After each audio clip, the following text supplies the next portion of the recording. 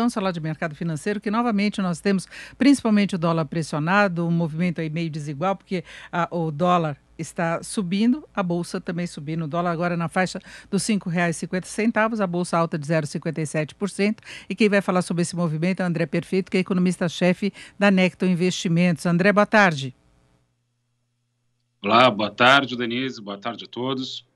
André, a impressão que a gente tem é que o dólar foca em algumas preocupações e a bolsa olha outros noticiários, né? É, a gente costuma brincar no mercado financeiro, né, que os dois têm que andar em sentidos opostos, né? O dólar, se o dólar sobe, geralmente a bolsa cai e vice-versa, né?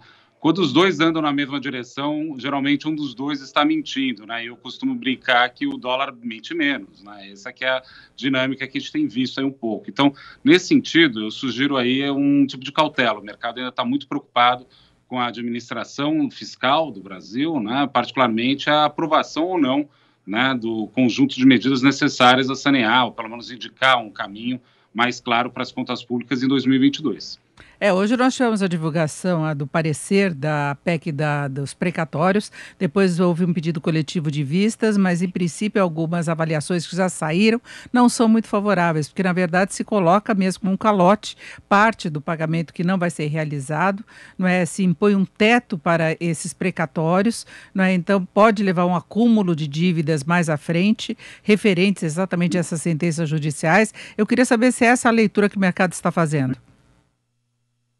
Olha, o mercado viu, por exemplo, a PEC mesmo, né? Ela teve um pedido de vistas agora, vai ser só debatida mais para frente, dia 19, salvo engano, né? Então a gente sabe que está demorando bastante para ser aprovado esse, essa PEC para organizar o debate, né, Denise? A preocupação do mercado é que parte desse, assim, do auxílio seja estendido para 2022. Então, isso daí é visto como um certo populismo, né? Porque uma coisa é você conseguir o Auxílio Brasil, outra coisa é estender o auxílio emergencial, sem contar a questão que a gente você colocou, né, e de muita clareza a respeito do possível não calote dessas dívidas que estão sendo feitas, porque qualquer tipo de parcelamento cá entre nós, né? Isso daí já foi transitado, julgado, né? Parte do mercado vai ver com preocupação. Isso daí já se refletiu no bolso de todo mundo. A curva de juros, né, os juros mais longos, a gente não está falando aqui da Selic, não, né? Para o ouvinte entender a gente, está falando dos juros mais longos que às vezes mexem no teu bolso mais ainda, né? Que tem a ver com financiamento de carro, de imóvel, já subiu bastante por conta justamente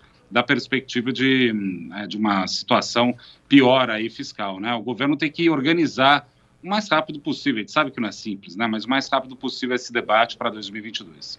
É, e o governo anda com muita facilidade na tramitação das pautas que pode estabelecer exatamente esse cenário melhor para as contas. Né? Tem esse enrosco em relação aos precatórios, que a gente vê que a receptividade no próprio Congresso é difícil, é uma PEC que exige uma votação mais elevada, e por outro lado, tem aí também um desvio em relação à reforma do imposto de renda. Porque uma coisa é o teto, é você abrir espaço, e outra é você ter uhum. condições de financiamento para essa despesa adicional, não é? Exatamente. Não faltasse um problema, a gente tem dois problemas na mão e com o tempo correndo, né? Temos que lembrar, a gente já está chegando no final desse ano e quanto mais perto de 2022, mais a agenda política né, vai ficar contaminada pela questão eleitoral. Enfim, a gente tem que resolver, o governo tem que correr muito para resolver esses problemas, que é dessas duas naturezas. Uma coisa é a PEC, né, propriamente, que tenta abrir um espaço. Outra coisa é o imposto de renda, que é uma reforma que faz parte do bolso da reforma tributária, que já foi divulgado há muito tempo. Até agora não conseguiu avançar no Senado, saiu na Câmara. É verdade que foi aprovado na Câmara de maneira bastante açoitada, bastante rápida. Até, até levou o dia que foi aprovado, o mercado caiu, né? Só que no Senado a gente não tem muita clareza. Isso tudo, de novo, né? É, joga a gente na segunda situação. O problema do Brasil não é falta de dinheiro. O problema do Brasil é a falta de um plano claro. Isso daí tem a ver não só com as vontades do Ministério da Economia ou do Palácio do Planalto, tem a ver com a articulação junto justamente com o Congresso Nacional. E aí cabe também a esfera política do governo né, saber azeitar e articular isso melhor. Do jeito que está, está bastante confuso, que se traduz, como a gente vê, né, Denise, com um dólar mais alto. Essa é a preocupação. É, a gente vê já há vários dias o dólar testando essa faixa acima dos 5,50, cede um pouquinho e o Banco Central vem atuando ah, através da, da colocação de contratos, de swaps, para tentar minimizar a pressão, mas não tem dado muito resultado, né? Olha, o uso de swaps ele pode evitar um pouco a volatilidade, mas ele não consegue mudar a direção. se o mercado quer levar para algum lugar, ele vai levar. O que a gente tem observado, de fato, tem sido bastante é, preocupante, né? É que a gente está vendo, não é nem o real ficar fraco, mas sim o dólar ficar forte. A gente está vendo a moeda norte-americana ganhando espaço e força na maioria das economias emergentes, né?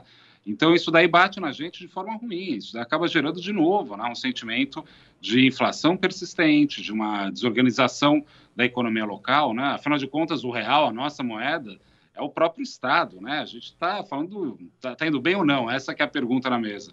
Por isso que seria adequado né, resolver pelo menos a discussão fiscal o mais rápido possível. Depois a gente encaminha, se pensa outras pautas que também são muito importantes, pelo menos o mercado vê com bons olhos com a reforma administrativa e por aí vai. Mas a questão da PEC e o imposto de renda que vai gerar receita para um auxílio Brasil ou não, é o que tem que ser decidido para ontem, não dá mais para esperar não. É, exatamente. E a gente tem outros fatores de incerteza que vêm do exterior. Você falava desse avanço do dólar frente a outras moedas, só que aqui no Brasil, desde o ano passado, a gente tem tido esse movimento amplificado, não é? Exatamente. No Brasil, a gente tem sofrido mais do que o conjunto dos emergentes, entre outros motivos, por conta desses ruídos políticos. Né? A moeda né, acaba sofrendo né, com algumas faltas de perspectivas.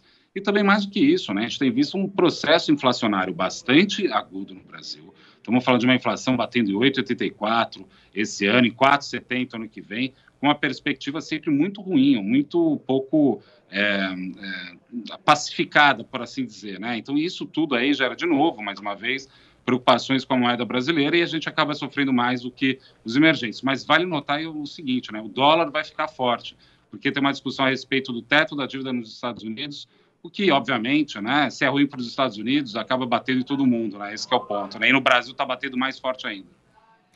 Bom, é isso. Ouvimos o André Perfeito, que é economista-chefe da Necto Investimentos. André, muito obrigada. Uma boa tarde. Eu que agradeço. Um abraço a todos os ouvintes.